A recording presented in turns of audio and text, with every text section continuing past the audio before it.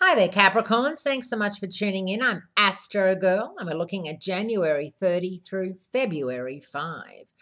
And there are two events happening this week, both of which need careful handling, Capricorns. The first is a tricky sign change for Venus, the goddess of love and harmony.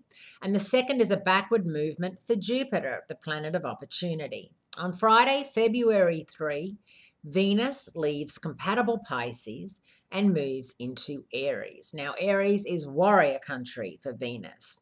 Venus is, if you think of Kylie Minogue and Moulin Rouge, the little fairy floating around, meets the dragon queen from Game of Thrones. You know, the, the two don't really mix. Well, that's kind of what's happening with Venus in Aries. And she's there through June 6th. It's a very long time indeed in your fourth house of home and family.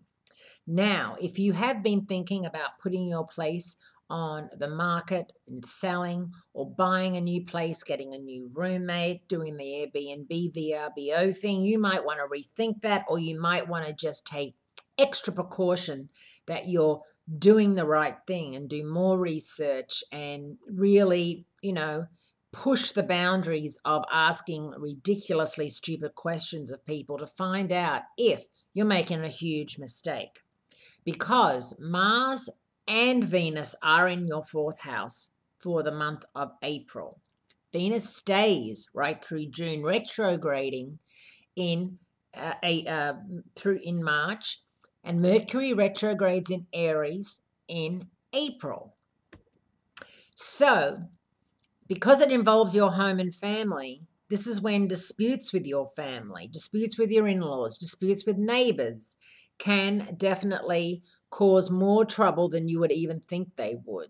You've just got to be very careful if there's an inheritance, if there's money that's going to be divided, all that sort of thing. You know, things that cause family issues and problems. You've just got to be very, tread very softly and carefully around those issues, domestic issues.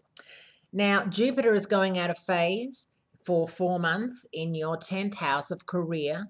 So, this is a time when you should be reviewing, rethinking, and not necessarily rushing out with your resume and throwing that around town or letting anybody in on the fact that you're thinking of jumping ship or getting another job. But just in the back of your mind, be seeing what's going on, seeing what wages are being paid, seeing what moves are being made. But once again, you know, sometimes eh, it's really, really a good idea not to share with anybody. I mean, maybe you'll share with your partner. But if you work together or if you know the same people, you can't run that risk of them saying something or a silly email getting passed around, you know, that just says like the smallest thing that's interpreted the wrong way. So I think that we've lost the art of silence is golden. You know, sometimes you meet people who don't say much and I'm always in awe of those people because I'm like, oh, they don't feel the need to have all the chit chat. And it's a very, very good gift. And if anyone can have it, it's you, Capricorns. So think about that this weekend. Thanks so much for tuning in, and I'll speak to you again soon.